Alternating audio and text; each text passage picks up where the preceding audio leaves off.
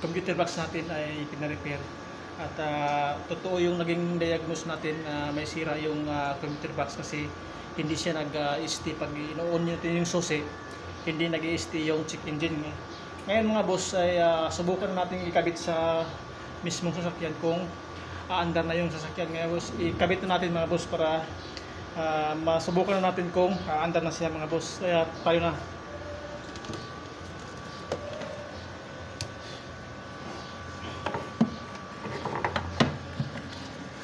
Ganito lang yung pagkabit ng computer box.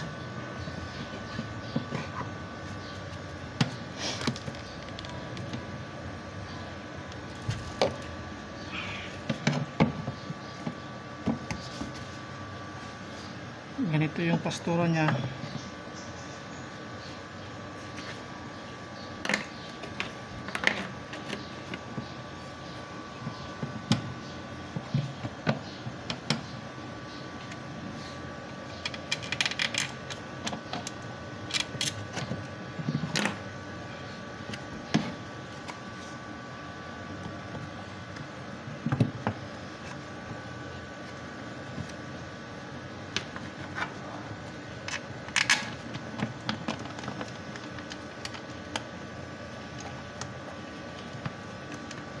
Ngayon natin masusubukan kung maayos na yung kasi pinadala doon sa ano sa taga-ayos ng computer box ay sinubukan nila doon sa kanilang sasakyan na kartula nito Kia Rio.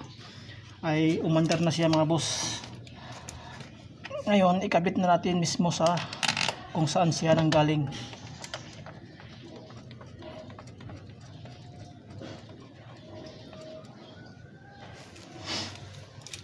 Marala, malalaman natin kung aandar na siya.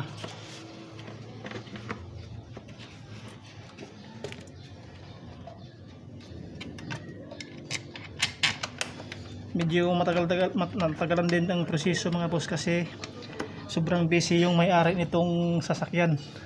Kaya medyo natagalan. Umabot din ng mid, hap, malapit sa isang buwan. Kaya kanina sana namin umaga kinabit ito kaso nga lang pina-charge ko muna yung battery kasi sigurado na nag-discharge yung battery kasi na-stuck siya.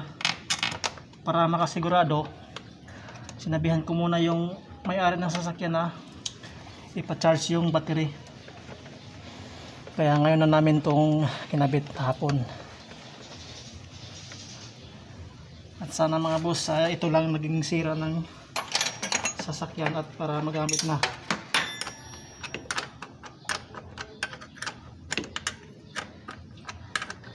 sino yung nakapapanood ng part 1 nito yung nagbe-blink yung ah, check engine ay ito na yung ah, part 2 mga boss. Kinabit na natin yung computer box na naayos na. Nasunog doon yung sa ilalim. May pinalitan silang pyesa. Nasunog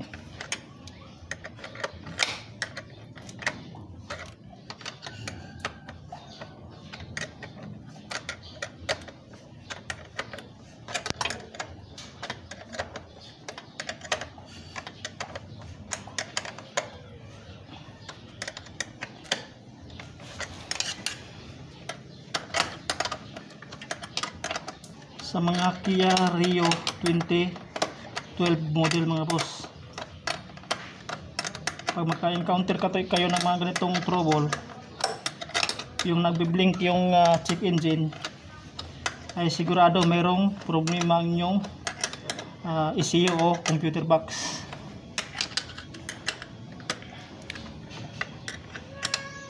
Ito na nga boss. Ah, nakabit na natin at ikabit na natin yung pinakasakit niya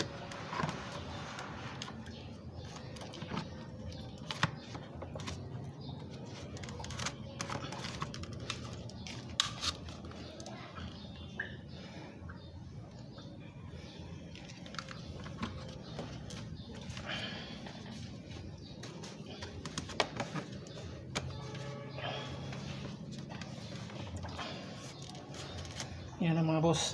Yan na yung, yan na yung pagkabit ng computer box. Ngayon, kabit natin yung baterya para masubukan natin doon sa loob.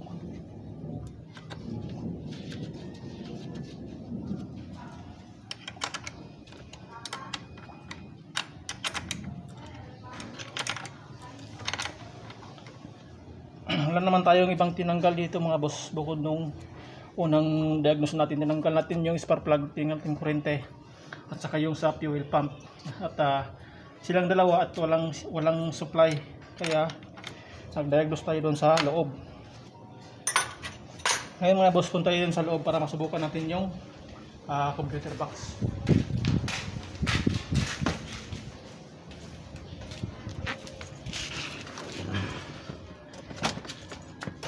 O natin yung susi kung makikita nyo mga boss yung dati ay mawawala-wala siya itong ah, check engine. At ah, ngayon mga boss nag na siya. I-reset muna natin mga boss sandali yung computer para karoon ng supply ng gasolina itong karburador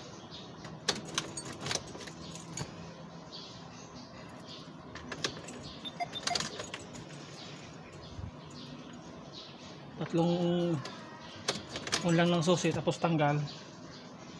At ah, pwede na natin subukan. Start natin mga boss.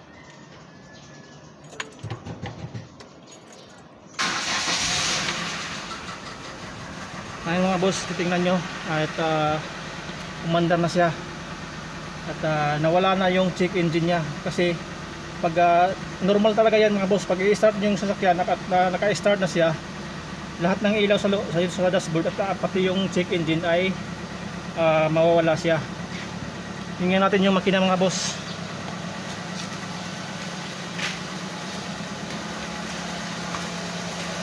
Ito na yung last na process niya.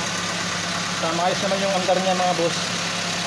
Sa wala na siya naging problema at ah, okay mga boss ah, tama yung ah, diagnose natin na sira yung ECU pag mga ganong makakoncounter kayo ng mga gan- ganitong ah, ah, problema yung nag-blink-blink yung ah, check engine sa loob at ah, sigurado may ah, problema yung computer box sa mga sasakyan mga boss.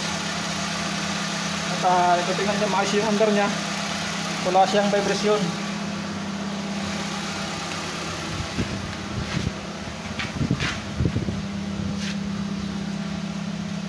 i-off natin ulit. Tapos ah, subukan natin panda rin.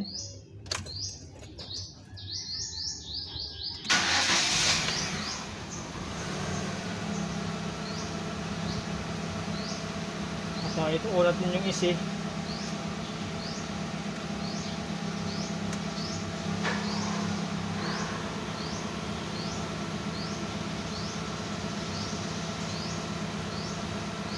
solve na yung problema ng sasakyan mga boss ng ah, customer natin na Kia Rio 2011 Ah, crank ah, crankling ah, cranking won't start. Nag uh, nag ah, crank lang siya mga boss at ayaw niya mag-start talaga.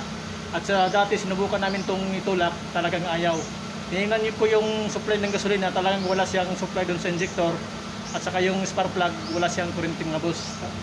Ah, naga ah, ano na ako na talagang tanggalin na yung computer box at ah, talagang ang computer box yung may sira. Kasi pag tung, nung una in-scan to, uh, ko itong mga boss ay ang scanner at saka yung, ah, yung computer box ay hindi maka ang computer box na hindi makipag-communicate sa scanner natin mga boss. Kaya tinanggal na namin yung ah, computer box at uh, pina-repair.